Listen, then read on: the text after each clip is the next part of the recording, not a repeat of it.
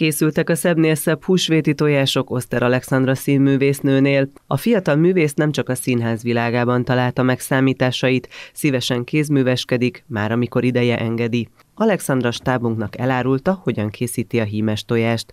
A technikát nagymamájától leste el. A művelet aprólékos, nem ritka, hogy több mint egy órát is dolgozik egy tojáson.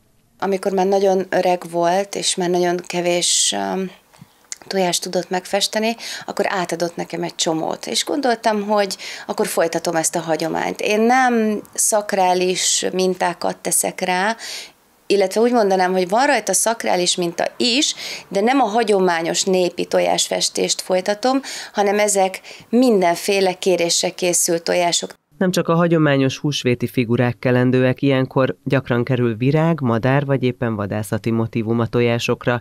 Mindezek elkészítéséhez természetesen a kézügyesség elengedhetetlen. Ki kell tapasztalni, mert ez egy külön műfaj, úgyhogy útközben rájöttem, hogy jó, hogyha az ember lecsiszolja egy kicsit, lereszeli a tojás felületét, jobban lehet rá dolgozni.